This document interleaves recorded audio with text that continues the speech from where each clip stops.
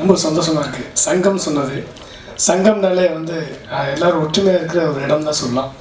சந்தோஷமாக இருக்கிற இடம் ஒற்றுமையாக இருக்கிற இடம் நம்ம உணர்வு உணர்வுகளை வெளிப்படுத்துகிற இடம் அப்படின்னு சொல்லலாம். அது மாதிரி இன்றைக்கி பத்திரிகையாளர் சங்கத்தில் கலந்துக்கிறது ரொம்ப சந்தோஷமாக இருக்குது இந்த மடலில் என்னோட கவிதையை வந்து ரொம்ப எனக்கு ரொம்ப தேங்க்ஸ் கவிதா மடலுக்கு ரொம்ப தேங்க்ஸ் இந்த மடல் சிறப்பாக நீ நினச்ச மாதிரி வச்சுட்டே வளர்த்துக்கேன்